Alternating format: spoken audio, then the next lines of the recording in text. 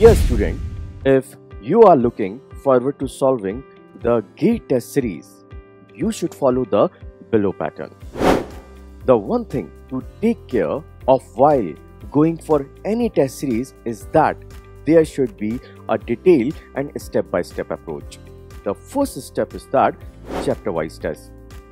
Practice chapter-wise GATE test to attain high proficiency in individual topics.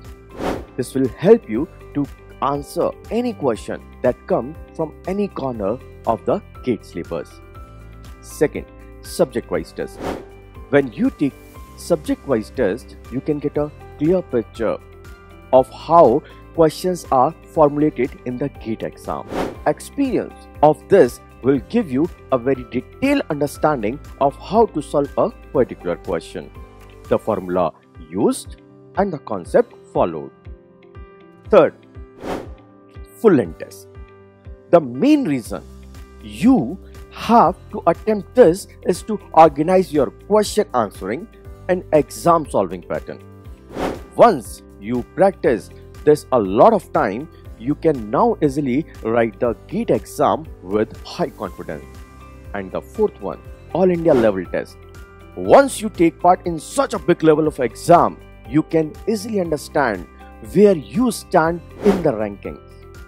You can then go back, make the necessary changes and come back even stronger.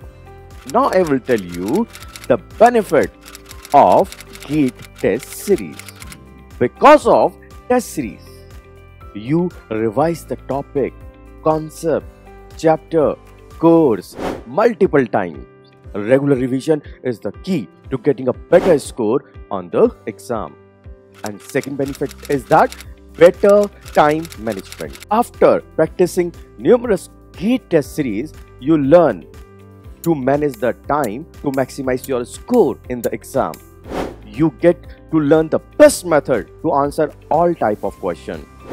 You get 180 minutes, only 180 minutes to solve the whole exam of 65 questions. The total number of marks on the question paper is what? 100 marks.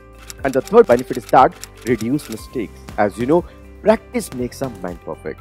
Practice as many GATE mock tests as possible. Fourth benefit is that evaluate yourself. Mock tests are the best method to evaluate your preparation level. After cramming the syllabus and finishing all the books, you need to practice the GATE mock test to improve all the shortcoming in the preparation. Test check your understanding of the concept and help you to revise all the concept again and again.